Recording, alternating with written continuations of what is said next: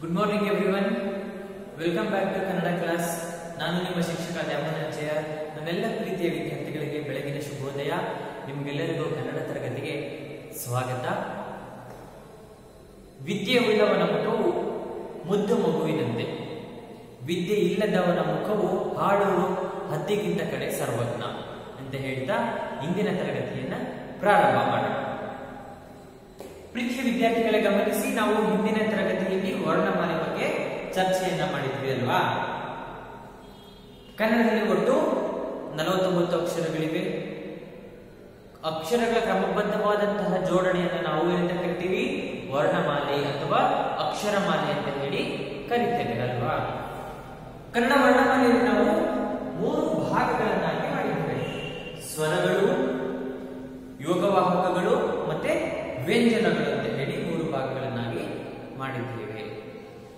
ಸ್ವರಗಳು ಅಂದ್ರೆ ಸ್ವತಂತ್ರವಾಗಿ ಉಚ್ಚರಿಸುವಂತಹ ಅಕ್ಷರಗಳನ್ನು ನಾವು ಸ್ವರಾಕ್ಷರಗಳು ಅಂತ ಹೇಳಿ ಕರಿತೇವೆ. ಸ್ವರಗಳಲ್ಲಿ ಎರಡು ವಿಧ ಹಸ್ವ ಸ್ವರ ಮತ್ತೆ ದೀರ್ಘ ಸ್ವರ ಒಂದು ಮಾತ್ರ ಕಾಲದಲ್ಲಿ ಉಚ್ಚರಿಸುವಂತಹ ಅಕ್ಷರಗಳನ್ನು ನಾವೇನಂತ ಕರಿತೀವಿ? ಸ್ವರ ಅಂತ ಹೇಳಿ ಕರಿತೇವೆ. ಎರಡು ಮಾತ್ರ ಕಾಲಾವಧಿಯಲ್ಲಿ ಉಚ್ಚರಿಸುವಂತಹ ಅಕ್ಷರಗಳನ್ನು ನಾವು ದೀರ್ಘ ಸ್ವರ ಅಂತ ಹೇಳಿ ಕರಿತೇವೆ. ಅರ್ಥ ಆಗ್ತಿದೆಯಾ ಪ್ರೀತಿ ವಿದ್ಯಾರ್ಥಿಗಳೇ ನೆಕ್ಸ್ಟ್ ವ್ಯಂಜನಗಳು, ಏನು ವ್ಯಂಜನಗಳು ಅಂದ್ರೆ? ಸ್ವರಗಳ ಸಹಾಯದಿಂದ ಉಚ್ಚರಿಸುವಂತಹ ಅಕ್ಷರಗಳನ್ನು ನಾವು ವ್ಯಂಜನಾಕ್ಷರಗಳು ಅಂತ ಹೇಳಿ ಕರಿತೇವೆ. ಅರ್ಥ ಆಗ್ತಿದೆಯಾ? ಈ ವ್ಯಂಜನಗಳಲ್ಲಿ ಎರಡು ವಿಧ. ವರ್ಗೀಯ ವ್ಯಂಜನ ಮತ್ತೆ ಅವರ್ಗೀಯ ವ್ಯಂಜನ. ವರ್ಗೀಯ ವ್ಯಂಜನಗಳು. ವ್ಯಂಜನಗಳಲ್ಲಿ ಮೂವತ್ನಾಲ್ಕು ಅಕ್ಷರಗಳಿದೆ ಅಲ್ವಾ ಅದರಲ್ಲಿ ನಾವು ಮತ್ತೆ ಡಿವೈಡ್ ಅನ್ನ ಮಾಡ್ತೇವೆ. ಭಾಗಗಳನ್ನಾಗಿ ಮಾಡ್ತೇವೆ. ಯಾವುದು? ವರ್ಗೀಯ ವ್ಯಂಜನ. ಅವರ್ಗೀಯ ವ್ಯಂಜನ ಅಂತ ಹೇಳಿ ಈ ಕೊಚೋಟ ವರ್ಗಗಳ ಉತ್ಪತ್ತಿಯ ಸ್ಥಾನಕ್ಕೆ ಅನುಗುಣವಾಗಿ ವರ್ಗ ಮಾಡಿರುವುದರಿಂದ ನಾವು ವರ್ಗೀಯ ವ್ಯಂಜನ ಅಂತ ಹೇಳಿ ಕರಿತೇವೆ. ಅರ್ಥ ಆಗ್ತಿದೆಯಾ ಈ ವರ್ಗೀಯ ವ್ಯಂಜನದಲ್ಲಿ ಮತ್ತೆ ಮೂರು ವಿಧಗಳು. ಅಲ್ಪ ಪ್ರಾಣಾಕ್ಷರಗಳು ಮಹಾಪ್ರಾಣಾಕ್ಷರಗಳು ಮತ್ತೆ ಅನುನಾಸಿಕಗಳು. ಇಲ್ಲಿಯವರೆಗೂ ಹಿಂದಿನ ತರಗತಿ ಆಗಿತ್ತಲ್ವಾ? ಇವತ್ತು ಇಂದಿನ ತರಗತಿಯಲ್ಲಿ ನಾವು ಈ ಅಲ್ಪಪ್ರಾಣ ಮಹಾಪ್ರಾಣ ಮತ್ತು ಅನುನಾಸಿಕಗಳ ಚರ್ಚೆಯನ್ನು ಮಾಡಿ, ನಂತರ ವರ್ಗೀಯ ವ್ಯಂಜನಕ್ಕೆ ಹೋಗೋಣ, ನಂತರ ಯೋಗ ವಾಹಕಗಳಿಗೆ ಹೋಗೋಣ. ಬನ್ನಿ.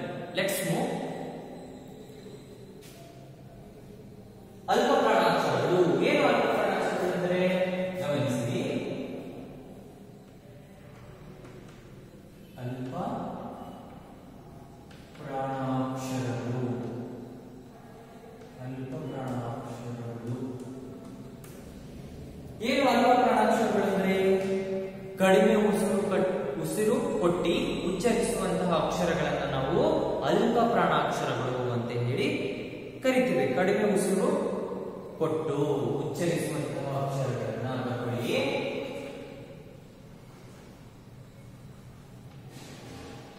ಕಡಿಮೆ ಉಸಿರು, ಕೊಟ್ಟು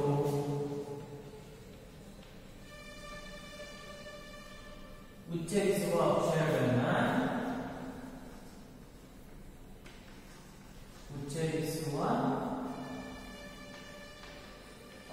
ಅಕ್ಷರಗಳನ್ನ ಅಕ್ಷರಗಳನ್ನು ಏನಂತ ಕರಿತೀವಿ ಅಲ್ಪ ಪ್ರಾಣಾಕ್ಷರಗಳು ಅಲ್ಪ ಅಲ್ಪ ಪ್ರಾಣಾಕ್ಷರಗಳು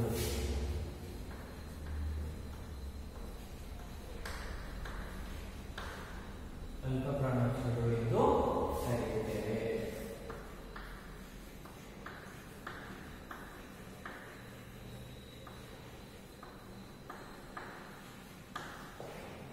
ಉದಾಹರಣೆಯನ್ನು ಗಮನಿಸಿ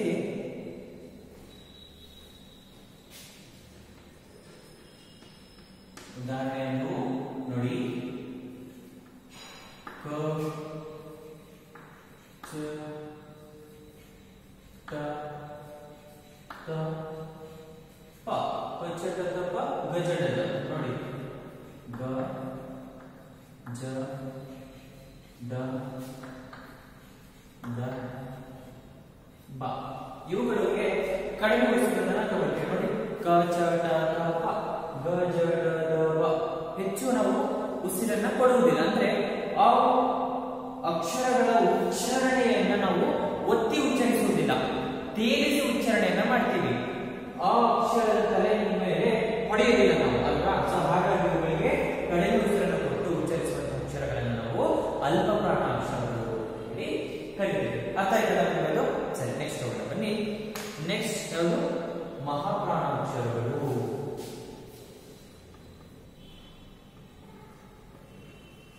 ಮಹಾ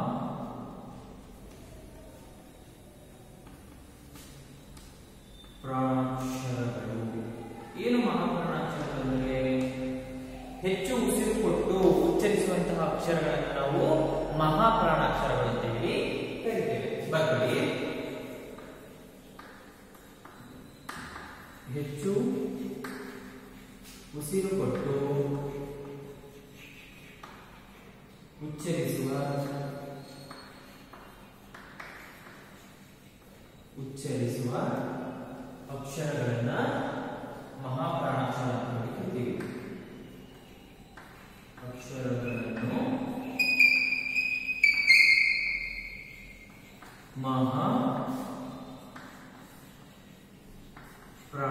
ಪ್ರಾಣಾಕ್ಷರ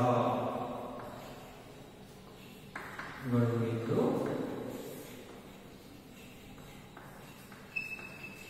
ಕರೆಯುತ್ತೇವೆ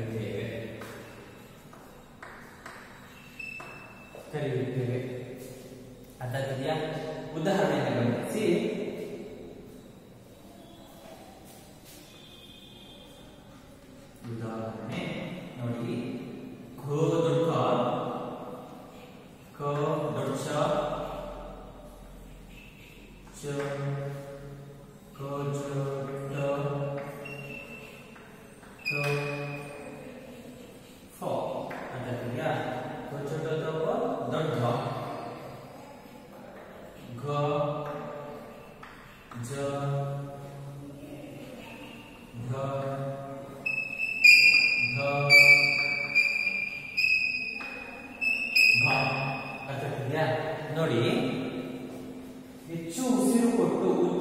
ಅಕ್ಷರಗಳನ್ನ ಮಹಾಪ್ರಾಣಾಕ್ಷರಗಳು ಎಂದು ಕರೀತೀವಿ.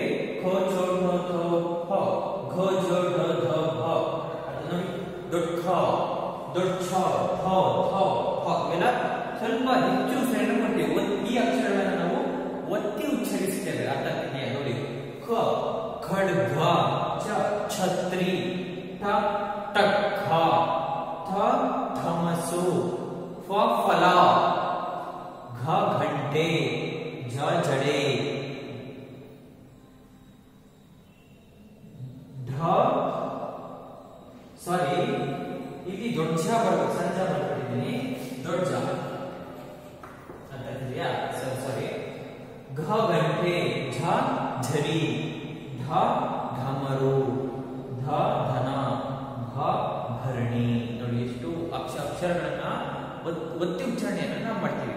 ಇವುಗಳನ್ನು ನಾವು ಮಹಾಪ್ರಾಣಾಕ್ಷರಗಳು ಅಂತ ಹೇಳಿ ಕರಿತೀವಿ ಅರ್ಥ ಆಗ್ತಿದ್ಯಾ ಸರಿ ಅಲ್ಪ ಪ್ರಾಣಾಕ್ಷರಗಳು ಮತ್ತೆ ಮಹಾಪ್ರಾಣಾಕ್ಷರಗಳು ನಿಮಗೆ ಅರ್ಥ ಆಗಿದೆ ಅಂತ ನಾನು ಭಾವಿಸ್ತೇನೆ ನೆಕ್ಸ್ಟ್ ಹೋಗೋಣ ಅನುನಾಸಿಕಗಳು ಇದನ್ನ ರಬ್ ಮಾಡ್ತೀನಿ ಆಯ್ತಾ?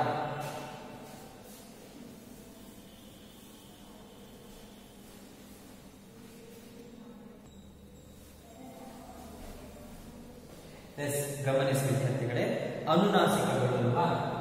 ಅನುನಾಸಿಕಗಳು. ಏನು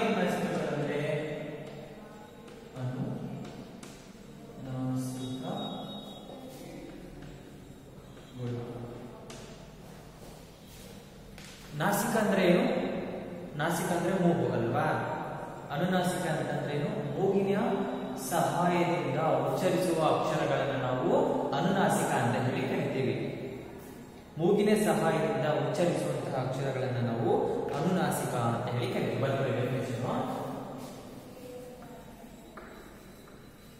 ಮೂಗಿನ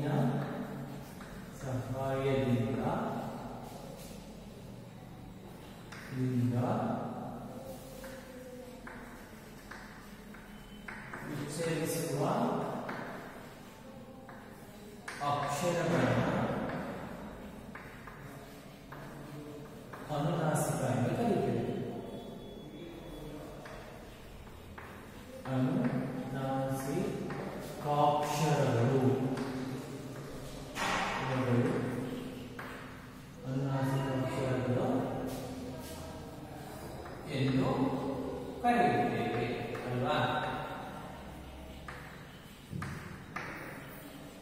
보다 하면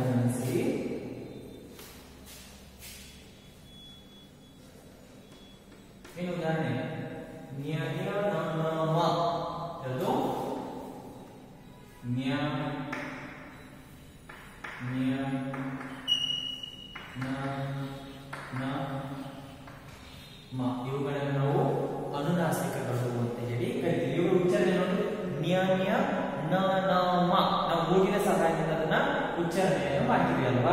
ಹಾಗೆ ಇವುಗಳನ್ನು ನಾವು ಅನುನಾಸಿಕ ಅಕ್ಷರಗಳು ಅಂತ ಹೇಳಿ ಕರಿತೀವಿ. ಅರ್ಥ ಆಯ್ತಲ್ಲ ವಿದ್ಯಾರ್ಥಿಗಳೇ? ವರ್ಗೀಯ ವ್ಯಂಜನ ಅಂದರೆ ಇದು ವರ್ಗೀಯ ವ್ಯಂಜನಕ್ಕೆ ಮೂರು ವಿಧ ಅಲ್ಪ ಪ್ರಾಣಾಕ್ಷರ ಮಹಾಪ್ರಾಣಾಕ್ಷರಗಳು ಮತ್ತೆ ಅನುನಾಸಿಕ ಅಕ್ಷರಗಳು ಅಥವಾ ಅನುನಾಸಿಕಗಳು. ಇದಿಷ್ಟು ಆಯ್ತು. ನೆಕ್ಸ್ಟ್ ಹೋಗೋಣ. ಅವರ್ಗೀಯ ವ್ಯಂಜನ. ಅದು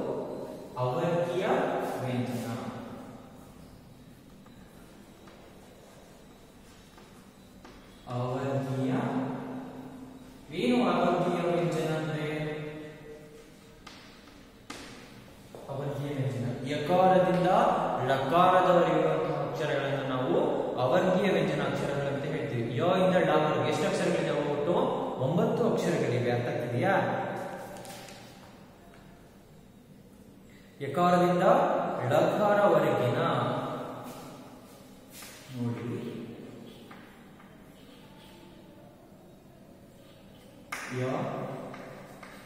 ಕಾರದಿಂದ ಲಾಕಾರದವರೆಗಿನ ದ ವರೆಗಿನ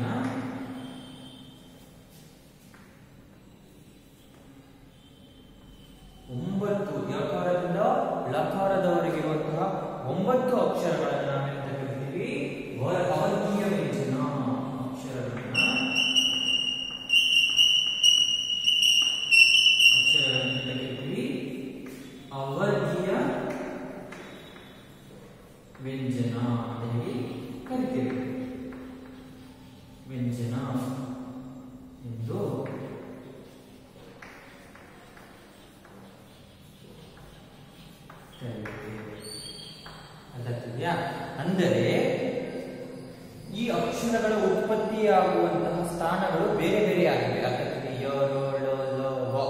ನೋಡಿ. ಯ, ರ, ಲ, ಯ, ರ, ಲ, ವ, ಶ ಶ, ಹ, ಳ. ನೋಡಿ, ಇವುಗಳ ಉತ್ಪತ್ತಿ ಆಗುವಂತಹ ಸ್ಥಾನ ಬೇರೆ ಬೇರೆ ಆಗಿದೆ. ಹಾಗಾಗಿ ಇವುಗಳಿಗೆ ನಿರ್ದಿಷ್ಟವಾದಂತಹ ವರ್ಗಗಳಲ್ಲಿ ಸೇರಿಸಿ ಹೇಳಲು ಬರುವುದಿಲ್ಲವಾದರೂ ಆದ್ದರಿಂದ ಇದನ್ನು ನಾವು ಅವರ್ಗೀಯ ವ್ಯಂಜನ ಅಂತ ಹೇಳಿ ಕರಿತೇವೆ ಅರ್ಥ ಆಗ್ತಿದೆಯಾ? ಇದಿಷ್ಟು ನಿಮಗೆ ಅರ್ಥ ಆಗಿದೆ ಅಂತ ನಾನು ಭಾವಿಸ್ತೇನೆ. ನೆಕ್ಸ್ಟ್ ಹೋಗೋಣ ಹಾಗಾದ್ರೆ. ನೆಕ್ಸ್ಟ್ ಯಾವುದು? ಯೋಗ ವಾಹಕಗಳು ಏನು ಯೋಗ ವಾಹಕಗಳು ಅಂದ್ರೆ? ಯೋಗ ವಾಹಕ ಎಂದರೆ ಜೊತೆಗೂಡಿ ಹೋಗು ಎಂದರ್ಥ. ಇವು ಯಾವುದಾದರೂ ಒಂದು ಸ್ವರಾಕ್ಷರ ಜೊತೆಗೆ ಕೂಡಿ ಉಚ್ಚರಿಸಲು ಮಾತ್ರ ಸಾಧ್ಯವಾಗುತ್ತದೆ.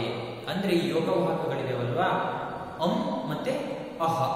ಅನುಸ್ವಾರ ಮತ್ತೆ ವಿಸರ್ಗ ಅಂತ ಹೇಳಿ ನಾವು ಎರಡು ವಿಧವನ್ನ ಇದರಲ್ಲಿ ಮಾಡ್ತೇವೆ. ಎಷ್ಟು ವಿಧವನ್ನಾಗಿ ಮಾಡ್ತೀವಿ ನಾವು ಎರಡು ವಿಧವನ್ನಾಗಿ ಮಾಡ್ತೀವಿ. ಒಂದೇದು ಅನುಸ್ವಾರ, ಮತ್ತೆ ವಿಸರ್ಗ. ಮತ್ತೆ ವಿಸರ್ಗ ಅಂತ ಹೇಳಿ ಎರಡು ವಿಧವನ್ನಾಗಿ ನಾವು ಇದರಲ್ಲಿ ಮಾಡ್ತೇವೆ. ಯೋಗವಾಹಕ ಅಂತಂದ್ರೆ ಜೊತೆಗೂಡಿ ಹೋಗು ಎಂದರ್ಥ. ಇವುಗಳನ್ನು ನಾವು ಸ್ವತಂತ್ರವಾಗಿ ಉಚ್ಚಾರಣೆ ಮಾಡಲು ಸಾಧ್ಯ ಇಲ್ಲ. ಯಾವುದಾದರೂ ಸ್ವರಾಕ್ಷರಗಳ ಜೊತೆಗೂಡಿ ಉಚ್ಚಾರಣೆ ಮಾಡೋದಕ್ಕೆ ಮಾತ್ರ ಸಾಧ್ಯ ಆಗುತ್ತೆ. ಡೆಫಿನೇಷನ್ ಬರೀತಾನೆ, ಇದನ್ನ ರಫ್ ಮಾಡ್ತೇನೆ.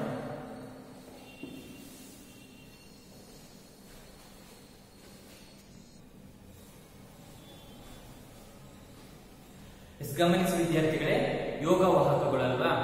ಯೋಗ ಎಂದರೆ ಜೊತೆಗೂಡಿ ಹೋಗು ಎಂದರ್ಥ. ಗಮನಿಸಿ ಡೆಫಿನೇಷನ್ ಯೋಗ ಎಂದರೆ ಜೊತೆಗೂಡಿ ಹೋಗು ಇವುಗಳ ಇವುಗಳು ಯಾವುದಾದರೂ ಒಂದು ಸ್ವರಾಕ್ಷರಗಳ ಜೊತೆ ಕೂಡಿಕೊಂಡರೆ ಮಾತ್ರ ಉಚ್ಚರಿಸಲು ಸಾಧ್ಯವಾಗುತ್ತದೆ. ಅಂದ್ರೆ ಈ ಅನುನಾಸಿಕಗಳು ಸ್ವತಂತ್ರವಾಗಿ ಉಚ್ಚಾರಣೆಯನ್ನ ಮಾಡಲಿಕ್ಕೆ ಸಾಧ್ಯ ಇಲ್ಲ. ಇದರಲ್ಲಿ ನಾವು ಎರಡು ವಿಧಗಳನ್ನಾಗಿ ಗುರುತಿಸ್ ಗುರುತಿಸ್ತೇವೆ.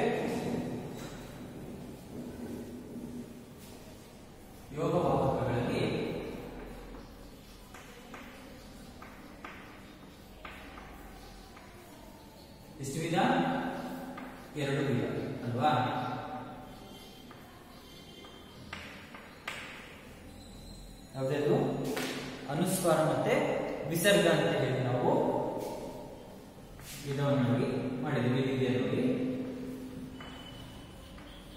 ಅನುಸ್ವಾರ ಮತ್ತೊಂದು ವಿಸರ್ಗ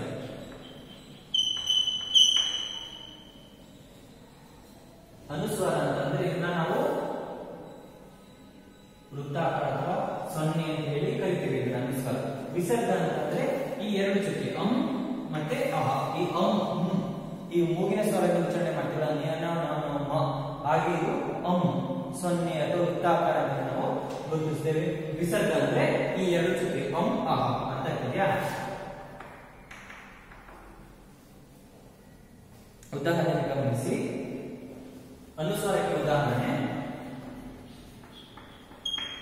ಅನುಸ್ವಾರಕ್ಕೆ ಸಿಂಹ ಅರ್ಥ ಆಗ್ತಿದ್ಯಾ ವಿಸರ್ಗಕ್ಕೆ ದುಃಖ ಇದೇ ತರ ನಿಮ್ಗೆ ನೋಡ್ತಾ ಹೋದ್ರೆ ಸಾಕಷ್ಟು ಉದಾಹರಣೆಗಳು ಅನುಸಾರ ಮತ್ತೆ ವಿಸರ್ಜಕ್ಕೆ ಸಿಗ್ತಾ ಹೋಗುತ್ತೆ. ಎಸ್ ಮೈ ಡಿಯರ್ ಸ್ಟೂಡೆಂಟ್ಸ್ ಇಲ್ಲಿಯವರೆಗೂ ನಿಮಗೆ ಕನ್ನಡ ವ್ಯಾಕರಣದ ತಳಪಾಯವಾದಂತಹ ವರ್ಣಮಾಲೆಯಿಂದ ನಾವು ನಿನ್ನೆ ನಿನ್ನೆ ತರಗತಿ ಮತ್ತೆ ಇಂದಿನ ತರಗತಿಯಲ್ಲಿ ಚರ್ಚೆಯನ್ನು ಮಾಡಿದ್ವಿ. ಇಲ್ಲಿಗೆ ವರ್ಣಮಾಲೆ ಈ ಒಂದು ಸ್ಟೆಪ್ ಸಂಪೂರ್ಣವಾಗಿ ಮುಗಿತಾ, ಮುಕ್ತಾಯ ಆಯಿತು.